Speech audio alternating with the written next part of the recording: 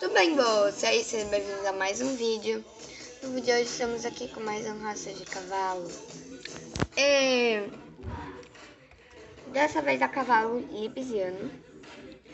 Bom, o cavalo lipsão ou lipsianer.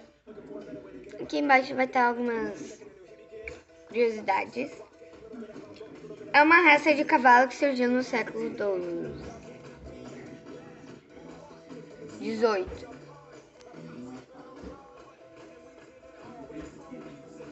De águas nativas. De águas nativas. Das mestiças de napolitanos e berberes. Com cinco garanhões importados. Selecionadas. Nome científico é Ecos Cabalos.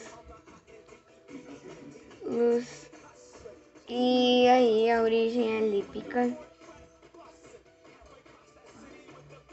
Classificação superior cavalo e a classificação raça. E a pelagem branca é raramente negra. Como vocês viram, o potro lipsiano nasce, nasce pela manhã. Bom pessoal, foi esse o vídeo. Espero que vocês tenham gostado. Um beijo, queijo, tchau, até o próximo vídeo.